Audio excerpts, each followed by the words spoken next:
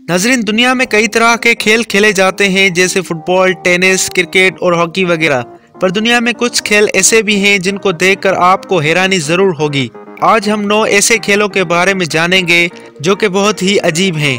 ایک حقیر عرض آپ کے سامنے رکھتے ہوئے اس ویڈیو کو شروع کریں گے کہ ہمارے اس نئے دلچسپ چینل ایکسپلور ریئلٹی کو صدقہ جاریہ کی نیت سے سبسکرائب کریں اور احسانات کی بھرمات کرتے ہوئے اس کے ساتھ موجود گھنٹی کے بٹن کو بھی دبائیں۔ نمبر ایک پر ہے ایکسٹریم آئرننگ۔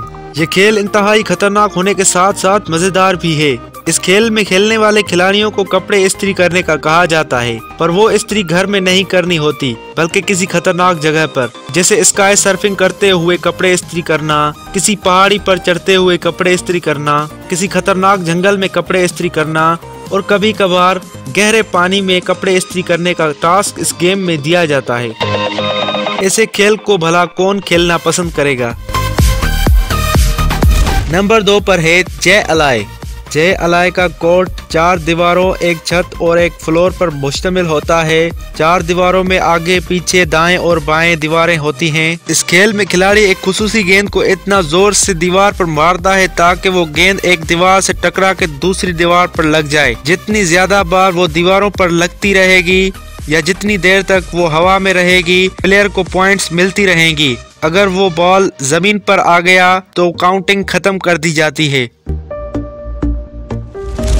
نمبر تین پر ہے چیس باکسنگ۔ یہ کھیل واقعی بہت دلچسپ ہے۔ اصل میں یہ کھیل دو کھیلوں کا مکسچر ہے، ایک باکسنگ اور دوسرا شطرنج کا۔ اس کھیل میں کل گیارہ راؤنڈ ہوتے ہیں، چھ راؤنڈ شطرنج کے اور پانچ راؤنڈ باکسنگ کے۔ اس کھیل میں ایک راؤنڈ شطرنج اور ایک راؤنڈ باکسنگ کا ہوتا ہے۔ اسی طرح گیارہ راؤنڈ مکمل ہوتے ہیں۔ اس کھیل میں کھلاڑی اگر شطرنج میں جیت جاتا ہے تو وہ پوری گیم جیت جائے گا۔ اسی طرح اگر وہ باکسنگ میں جیت جاتا ہے تو بھی وہ پورا گیم جیت جائے گا۔ اس کھیل میں کھلاڑی مکے کھا کر پھر دماغ کا استعمال کرتے ہیں۔ اسی طرح اس کھیل کی مقبولیت میں اضافہ ہوتا ہے۔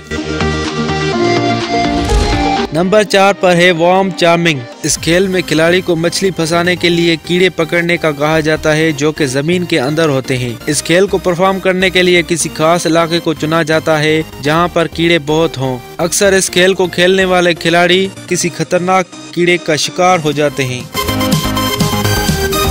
نمبر پانچ پر ہے آکٹوپش اس کو انڈر واٹر ہاکی بھی کہا جاتا ہے۔ یہ کھیل عام ہاکی کی طرح ہی ہوتا ہے، پر یہ کسی گراؤنڈ پر نہیں، کسی پانی کے پول میں کھیلا جاتا ہے۔ اس میں دو ٹیمیں ایک دوسرے کے حریف گول کرنے کی کوشش کرتی ہیں۔ اس کھیل میں کھلاڑی بنا آکسیجن کے پانی میں اترتا ہے اور سانس لینے کے لیے پانی کے سطح پر جاتا ہے۔ تب تک دوسرے کھلاڑی ٹیم کا ڈیفنس کرتے ہیں۔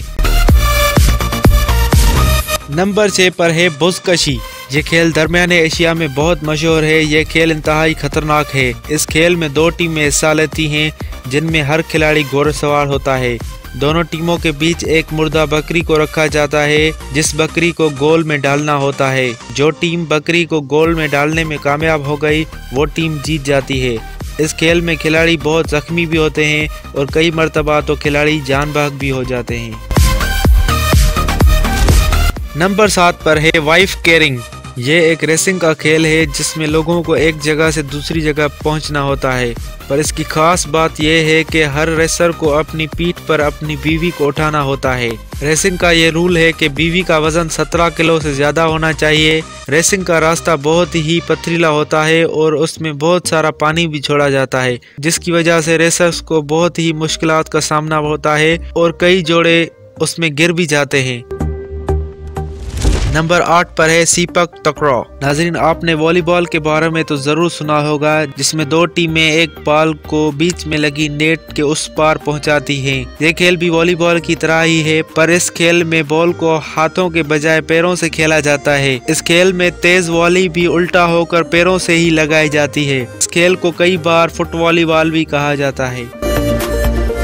نمبر نو پر ہے برڈ چرپنگ۔ یہ کھیل امریکی منچلوں نے ایجاد کیا ہے، جس میں دو کھلاڑی اپنا اپنا پرندہ لے کر آتے ہیں اور ایک پنجرے میں بند کر دیتے ہیں۔ پھر ان کے بعد ان پرندوں کی بولیوں کا مقابلہ ہوتا ہے، جس پرندے نے زیادہ دیر تک بولا وہ جیت جاتا ہے اور اپنے مالک کو ہزاروں ڈالر کما کے دیتا ہے۔ ناظرین، اس کاوشی ویڈیو کو پورا دیکھنے کا بہت بہت شکریہ۔